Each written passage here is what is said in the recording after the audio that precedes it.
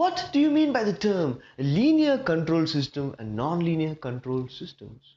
Well, my name is Rishi Remju. Welcome to the Backbench Engineering community where I make engineering easy for you. So let us ask ourselves that obvious question. What do you mean by the term a linear control system? Well, what's now? So let us consider a particular control system like this. Let us consider a particular control system. Now, in this control system, when we apply an input signal of say x1 of t, then we will get an output which is equal to y1 of t which is equal to the transform of x1 of t. That is, we will get an output which is a function of this particular input x1 of t. So similarly, in the same control system, if we give another input, say x2 of t, then we will also get another output, say y2 of t, which is equal to the same transform but of x2 of t.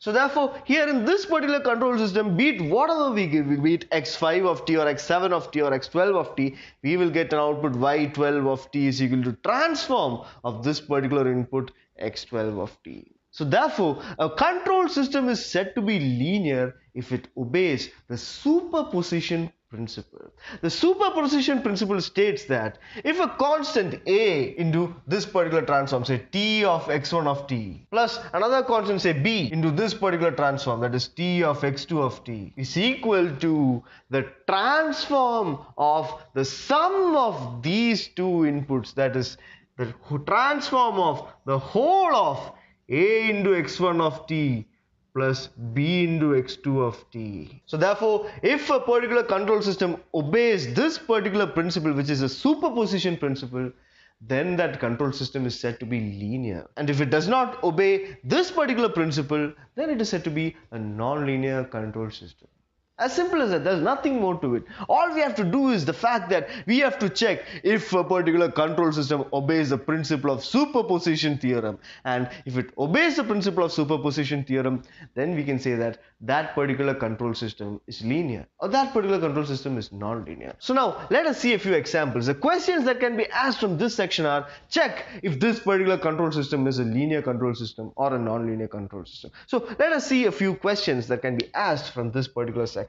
So the question, first question, let us see, is y of t is equal to x squared of t? Is it a linear or a non-linear system? So here the transform is given as x squared of t. That is, if the input is say x1 of t, then the output y1 of t is a transform of x1 of t which is given as x1 squared of t.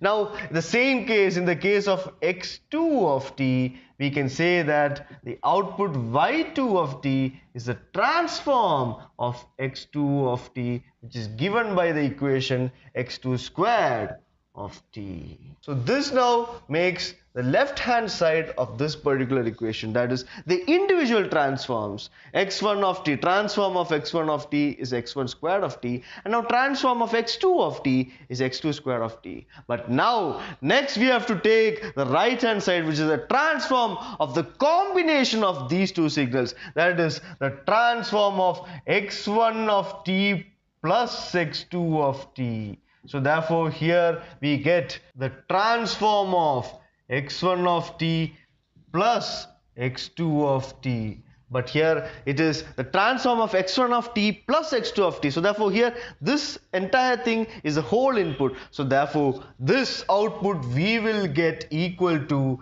x1 of t plus x2 of t the whole square. here the entire expression is given as input so therefore we will get the whole square so therefore this is equal to x1 squared plus x2 squared plus 2x1 x2 so here when we compare it with this particular equation we can say that the sum of these two is not equal to this particular expression. Because here we have an additional expression 2x1 x2 so therefore this kind of a system is a non linear system. So here because x1 square plus x2 squared is not equal to x1 square plus x2 square plus 2 1 x1 x2 therefore it is said to be a non-linear system. So this is how we check whether a particular system is a linear system or a non-linear system. So now let us see another example. Here we saw the case when y of t is equal to x squared of t. Now let us see the case where y of t is equal to just x of t. So in that case, what do we observe? Here, the first one, when we give an input x1 of t, we get the output y1 of t, which is a transform of x1 of t, which is equal to x1 of t itself. Similarly, in the case of x2 of t, we get the output y2 of t is equal to a transform of x2 of t, but here the transform is x2 of t itself. And now in the combination of x1 of t plus x2 of t, we get this equal to the transform of the combination of x1 of t plus x2 of t which is equal to the sum x1 of t plus x2 of t itself. That is whatever input we are giving, we are getting that as the output. That is what it states here. Whatever input we are giving, we are getting that as the output. Whatever input we are giving, we are getting that as the output. Whatever input we are giving, we are getting that as the output. Whatever input we are giving, we must get that as the output. So here we get x1 of t plus x2 of t as output. So therefore, when we compare this with the superposition principle, we get x1 of t plus x2 of t is equal to x1 of t plus x2 of t.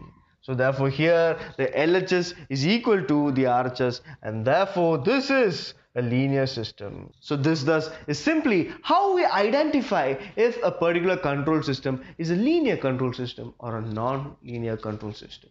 As simple as that, guys. All we have to do is that we have to know this particular principle, which is a superposition principle, and we have to compare the left hand side and the right hand side with the particular equation that we are given with. If it satisfies the superposition principle, then it is said to be a linear system. And if it does not satisfy the superposition principle, then we call it a nonlinear control system.